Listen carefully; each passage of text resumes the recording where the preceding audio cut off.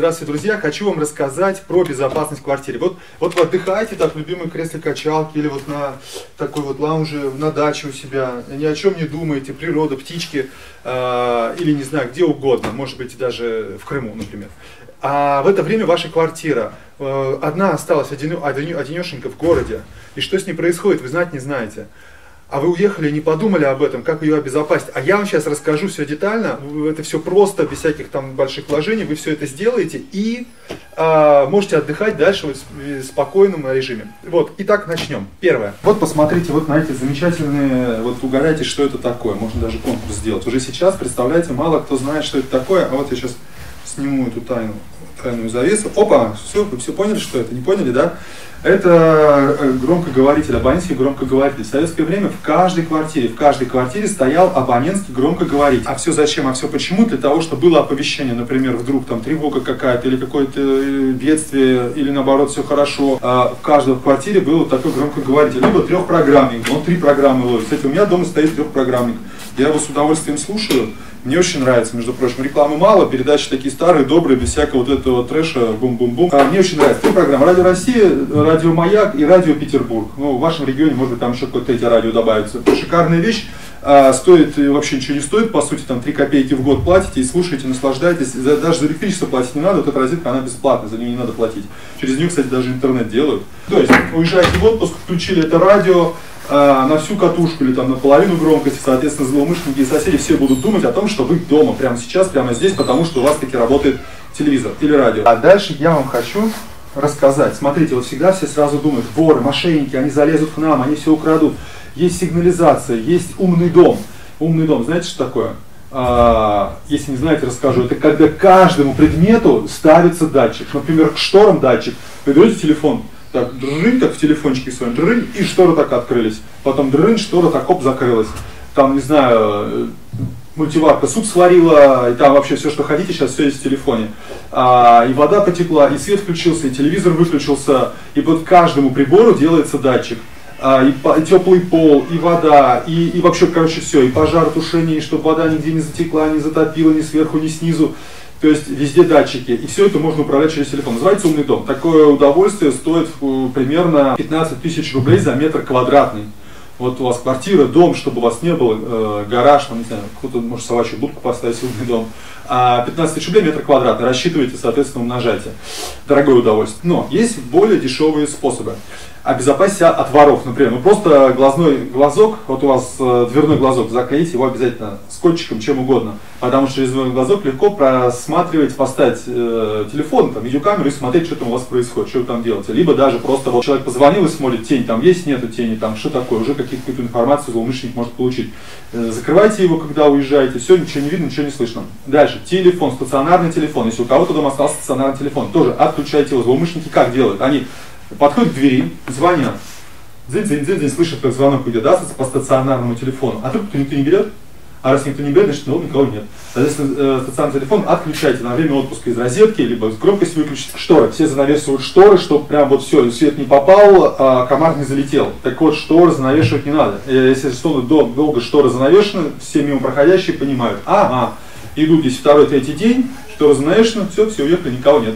Значит, можно зайти в гости, пока никого нет. Поэтому э, не надо что разновешь, может быть чуть-чуть прикрытие, а может вообще не прикрывать. Дальше, очень сейчас все активны в соцсетях. В соцсетях все прям пишут, ура, я еду в отпуск э, с 1 июля по 14 июля, мой дом совершенно свободен, у меня никого не будет дома, так что можете заходить, брать, что хотите. Ребят, уезжаете в отпуск, э, конечно, хочется всем похвастаться там в Инстаграме, пофоткаться, или там, вот, вот это я вот плыву, значит, это, в Инстаграме сразу, да, а где я плыву? Это я там плыву, не знаю, там где, опять же, ну, мы про Крымцы говорили, в Крыму плыву, да, человек э, думает, такой товарищ ваш, такой, хм-хм, если он в Крыму, так это что у него дома, никого, ага, значит, можно идти в гости. Поэтому, ребят, поспокойней, по, значит, э, свои вот эти вот э, жажду хвостовства свою немножко умерим. Если не хотите, чтобы к вам кто-то зашел в гости, пока вас дома нет, и не хвастаемся. А, приехали с отпуска и, и похвастались. Вот я был там, мне вот так было хорошо. Дальше, между прочим, роутер, который дает вам Wi-Fi. А вот это вот самая главная а, лазейка, через которую злодеи к вам могут попасть даже в ваш онлайн-кошелек, в ваш онлайн-сбербанк и куда угодно. К нему приконнектиться очень просто. а, пароли э, узнают, программы специальные есть и через роутер, поэтому роутер выключайте автомат или просто роутер из розетки. Раз в неделю возьмите себе за правило. Выключили из розетки, подождали там, не знаю, досчитали, раз, два, три, четыре, пять, вышел зайчик погулять, воткнули обратно. Все, настройки сбились, там они перестраиваются, уже гораздо сложнее воришки пробраться к вам. А, через роутер, потому что вы Wi-Fi со своего телефона, через Wi-Fi идете в Сбербанк онлайн, соответственно, коды, пароли есть. Очень легко сделать там подставной сайт, вы туда заходите, все заносите пароли, и они узнаются, они считываются, поэтому внимательно с роутерами, с Wi-Fi. Вообще вот эта умная техника, которая у вас по дому ходит, пылесосы, роботы, которые с видеокамерами, телевизоры с видеокамерами, э, планшеты с видеокамерами, за, за вами настолько легко наблюдать через эти видеокамеры, вы себе даже не представляете.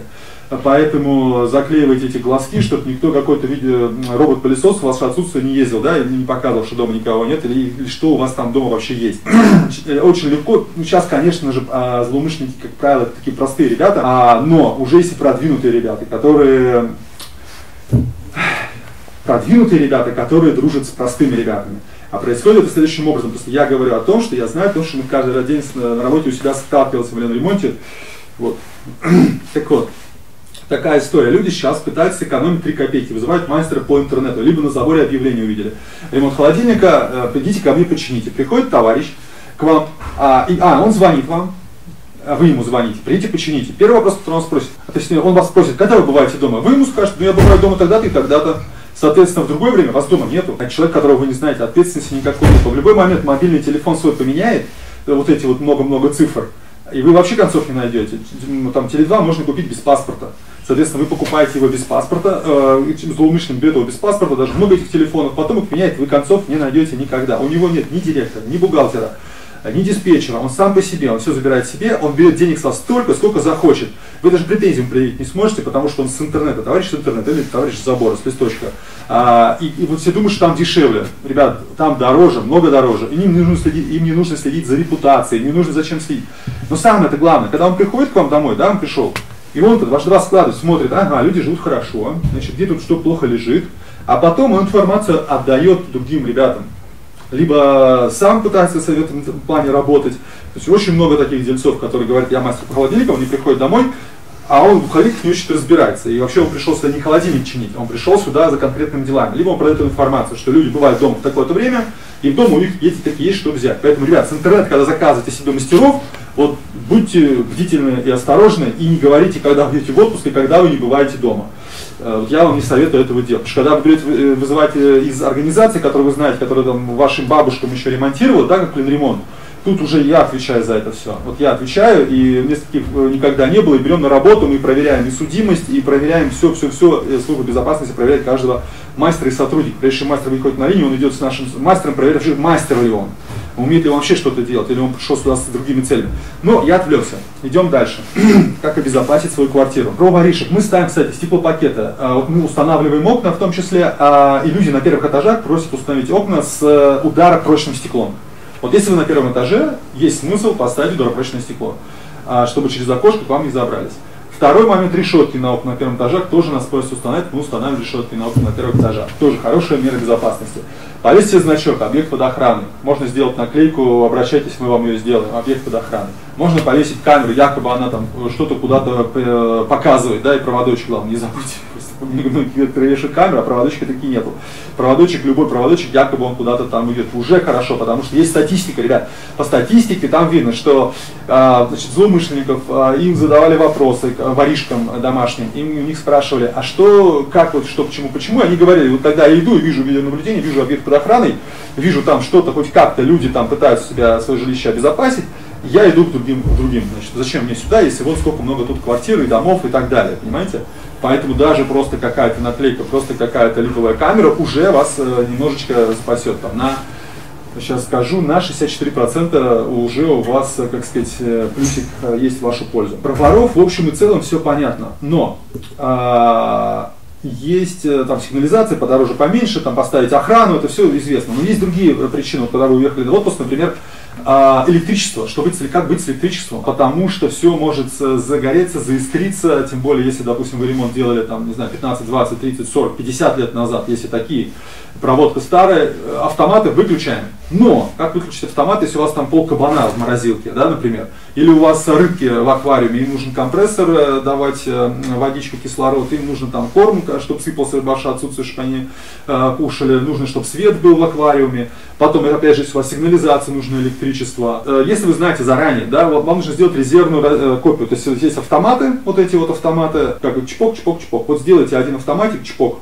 на вот такие нужды, нужды, которые вы никогда не будете отключать даже во время отпуска. Там холодильник, сигнализация, аквариум. И что там еще может быть, у вас есть такое, подумайте. С электрикой разобрались, идем дальше. Газ, газ перекрываем. Уехали, газ перекрыли, на всякий случай. С водой. С водой, значит, э, то же самое. Перекрыли всю воду и спокойно уехали. Но не забывайте про батареи. Вот батареи, вот, вот радиаторные батареи. Давайте подойдем поближе с ними батареи. Вот как раз в этой комнате есть одна. Значит, вот байпасный клапан, тут есть перепускной, и вот эти шаровые вентили. Обязательно вот так шаровый раз, шаровый два закрыли. Особенно, между прочим, летом. Почему летом? Сейчас объясню. Летом идут испытания а, так вот, летом идут испытания, когда дают очень высокое давление, чтобы испытать все-все трубы, чтобы они работали. И вот э, батарея может не выдержать и лопнуть от этих испытаний. Если батарея старая, и вот, вот эти алюминиевые батареи есть, бывают не очень качественные, где-то что-то, она лопается, вода потекла, и сами понимаете, что произойдет дальше. Поэтому перекрывайте обязательно. Но, опять же, но, Зимой, а, вот смотрите, стеклопакетом, когда вы уезжаете, хочется закрыть, прям как задрать люк. Слушайте, плесень будет образовываться. На месяц, на месяц уезжаете, плесень любит, когда нет кислорода, нету вот этого движения воздуха, сквозняка, она прям обожает. Особенно, если где-то есть капельки воды, о которых я вам сейчас тоже расскажу, они есть всегда и везде. А плесень будет у вас вот черная плесень, потом может пойти по стенам. Поэтому стеклопакеты желательно открыть на микропроветривание. Давайте покажу, что такое микропроветривание. Значит, вот это не микропроветривание. Микропроветривание это вот так вот. Вот так проверили. Не откроется, чуть даже поменьше даже, пускай чуть-чуть, но чтобы хоть какая-то щелочка таки у вас была. Чтобы хоть какое-то дуновение ветерка на каждом окошке у вас было, понимаете, все все, не откроется, оно ветром не сдует. Если откроете вот так, да, оно теоретически может там открыться как пониже вот так вот, но чуть-чуть, чтобы не до конца, чуть-чуть, чтобы воздух был. Зимой очень осторожно а, с микропроветриванием, кто-то может там побольше хочет оставить, потому что мне, например, неприятно, когда захожу в квартиру, да, она долго стояла, и там прям дышать нечем. А если зимой очень холодно, чтобы батареи не разморозить, э, не заморозить батареи, чтобы они не лопнули, вот с микропроветриванием, может быть, даже не в каждой комнате открывать, потому что холодок сюда зайдет, и тут будет очень холодно, и батареи могут лопнуть. Зимой очень осторожно смотрите вот за этим вот делом. И может быть тогда батареи там открыты, но чуть-чуть совсем. Э, зимой отдельная история. Например, казалось бы, такая мелочь, как э, вода течет. Значит, когда наши мастера делают ремонт, например, они делают обязательно а, в ванной комнате делают ремонт, кафель укладывают. Они делают а, водоизоляцию. В общем, они делают таким, такое специальное покрытие, чтобы вода, если вдруг пролилась вода, до 20 а, литров, а, вода останется у вас в кафеле. Они делают специально такой изоляционный для воды слой, чтобы вода не протекала никуда в такие щели. А, но, но есть еще датчики, специальные датчики, например, Aquastorage там есть, и датчики на воду. То есть э, датчики устанавливаются в местах, где может потечь вода, и по проводочкам идет, идет, идет к клапанам, электрическим клапанам, которые стоят на трубах. Это можно сделать при ремонте, а может прямо сейчас. У вас есть ремонт, вам не, обязательно делать ремонт для того, чтобы установить эти датчики. Вы можете их установить прямо сейчас.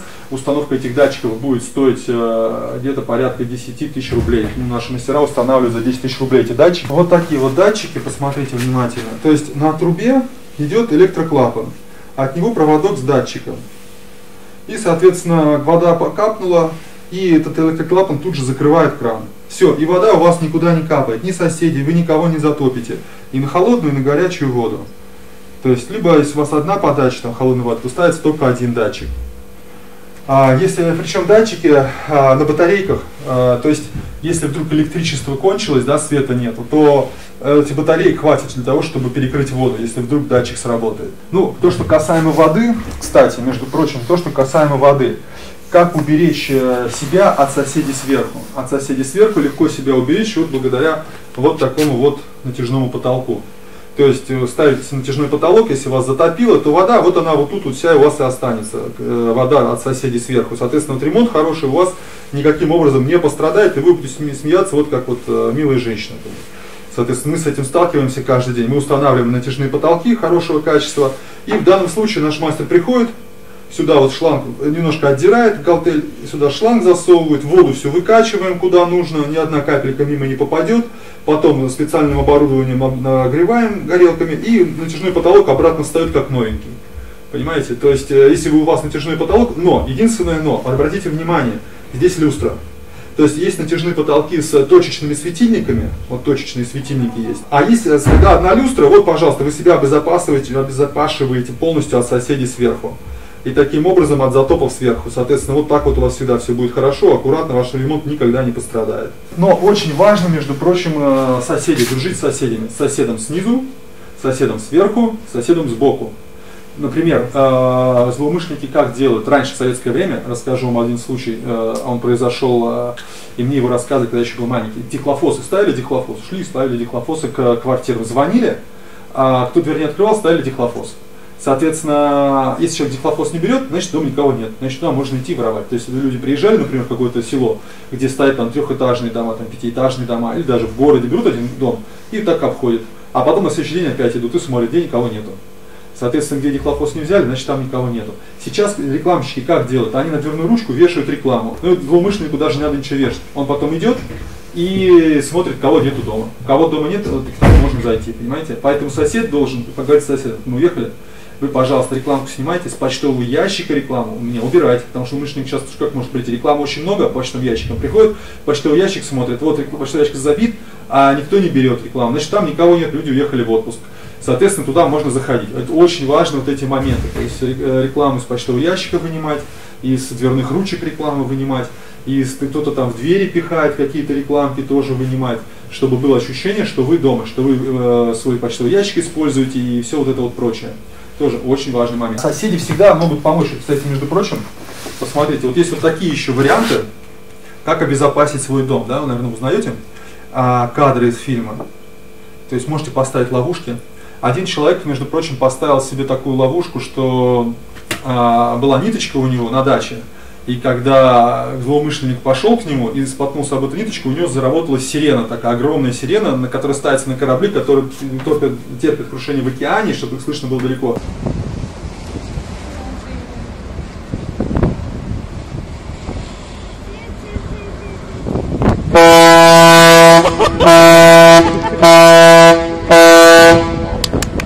Ну и в итоге злоумышленник, э, ему стало плохо, и он помер, и дали, даже дали условный срок, срок этому товарищу садоводу Подмосковья, но условный дали срок, ничего с ним не случилось. А сосед еще почему может помочь? Потому что сосед всегда может сделать вот так вот. Вот, вот так сосед может всегда сделать. Все, хороший сосед, хорошие отношения. То есть он, у соседа всегда может быть лопатка под рукой. Также обезопасить ваш дом, а, в том числе, например, от плесени. Например, холодильник. Вот как раз у нас есть здесь холодильник, посмотрите на холодильник. А, когда вы уезжаете, холодильник лучше выключить. Вот лучше его выключить, чтобы он стоял выключенный. Но дверь нельзя закрывать. Там влага всегда, холодильник он тает. Во-первых, холодильник нужно правильно установить. Видите, дверь сама закрывается. То есть вот вы открыли холодильник, а дверь сама должна закрыться. Почему? Потому что холодильник не должен стоять ровно, должен стоять 5%, 5 градусов, то есть покат назад. И тогда дверь сама будет закрываться.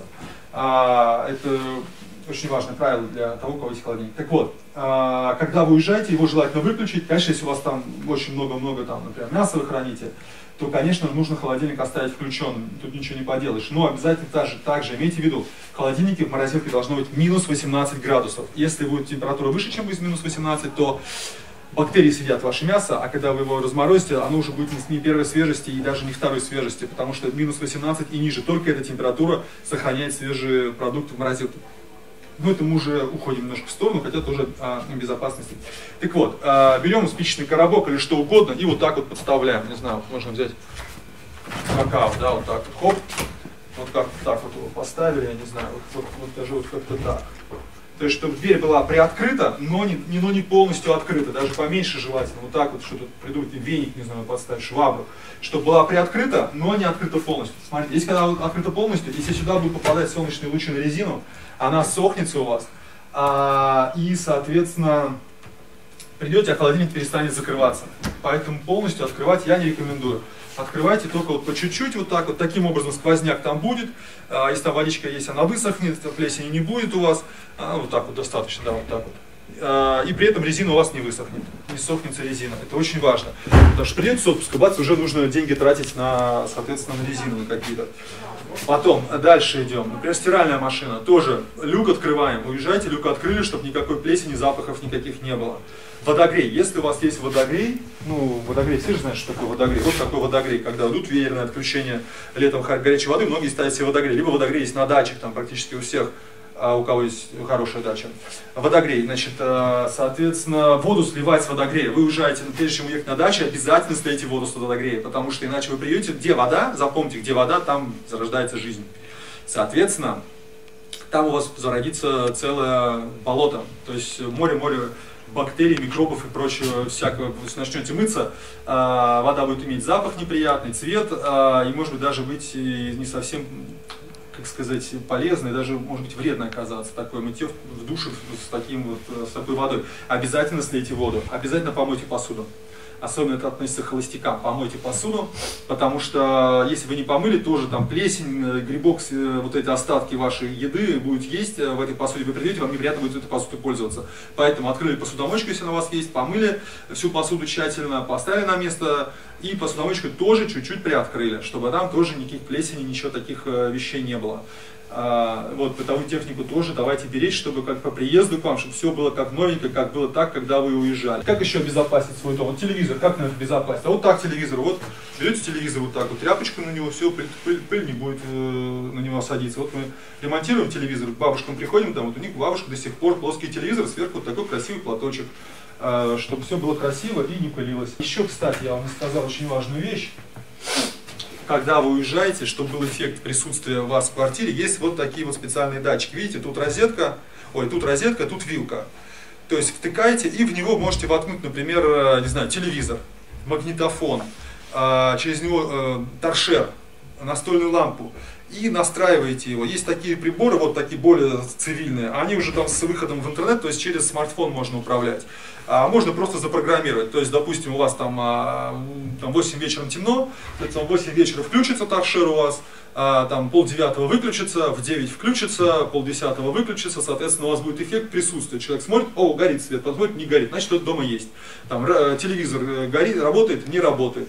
То есть тоже эффект присутствия. Вспоминайте, это же инженеры придумали, после того, как фильм вышел э, «Один дома», помните, как там мальчик, э, у него э, куклы, эти, ходили куклы как, как бы по дому, свет включался, выключался, все вот эти ловушки он делал.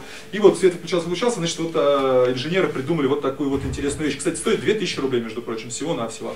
Такой вот а, переходничок, и зато вы обезопасите. Ну а лучше всего прибор от того, чтобы спасти ваше жилище, это завести галчонка и научить его говорить, кто там кто-то вот, злоумышленник там начнет краса, да, замок взламывать, подлетает галчонок и спрашивает, кто там? Все, злоумышленник понимает, что дома кто-то есть.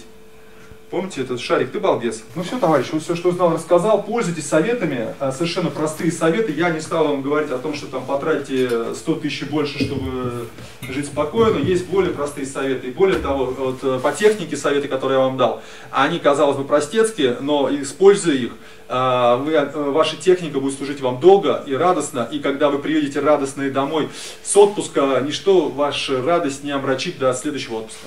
Спасибо, как там, куда-то там жмите, где-то там подписывайтесь, да-да-да, и пишите. Кстати, пишите, я вам отвечу на все ваши вопросы. Спасибо, до свидания.